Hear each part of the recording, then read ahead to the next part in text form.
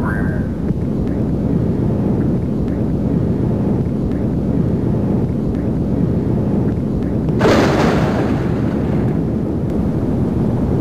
This is Houston, you are go for station.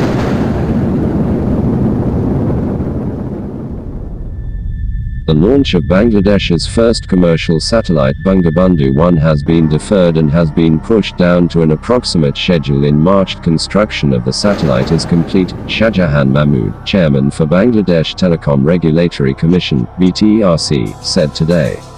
A precise date has not been set yet, but a launch is probable in March, he told during a meeting of Telecom Reporters Network at his office this afternoon.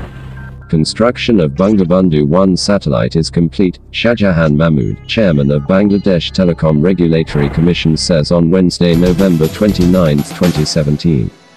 Photo, star. A sophisticated and highly technical government project at a cost of 2,967 crore takas.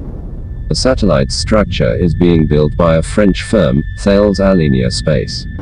Bangabandhu 1 is expected to provide services to all South Asian countries as well as Indonesia, the Philippines, Turkmenistan, Kyrgyzstan and Tajikistan, if its frequency is properly coordinated, according to project documents. Bangladesh currently meets its demand for satellite connectivity by renting bandwidth from foreign operators which costs the country about $14 million a year.